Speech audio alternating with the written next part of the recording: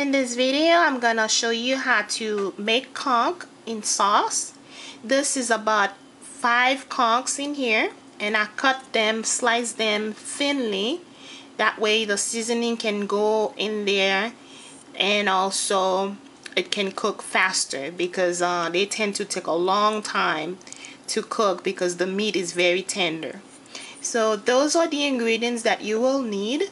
This is um, salt, sour orange, um, accent, this thyme, and um, onion, old bay, parsley, and this has garlic. Salt. This, this is parsley, and um, chick, uh, Maggi, and also salt free with garlic and herb.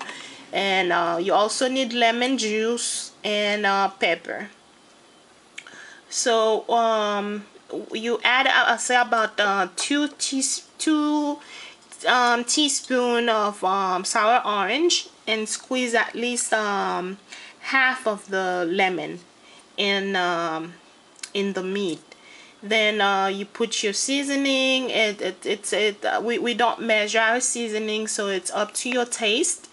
So here we add some of the salt-free garlic and herb. We add that in there.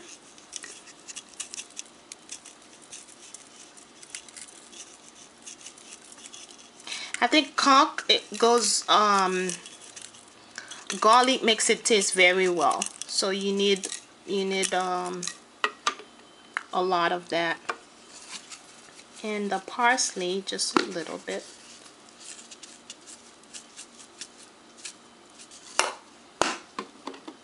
And we have the Maggi here.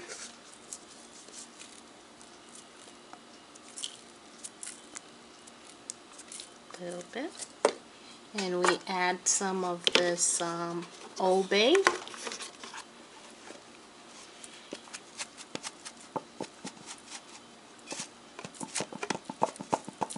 Again, we start not with too much. That way, when we taste it and see if it's missing something, then we can add it.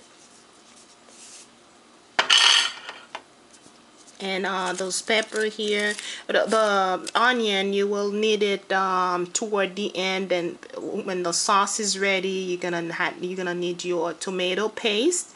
Uh, first you're gonna boil this.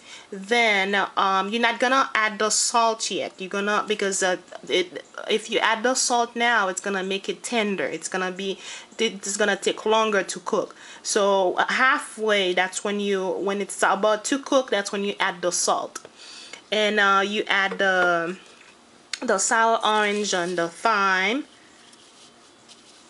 This is how the thyme there. Okay you have to wash this. I haven't washed this yet so I'm not gonna put it in there. So you have to wash that and um and with a, a, a fork and mix it together and taste it and see if there's um if um if it tastes good. If it tastes good then um you first um you you add some olive oil. You not really fry it but just kind of uh, sizzle sizzle uh,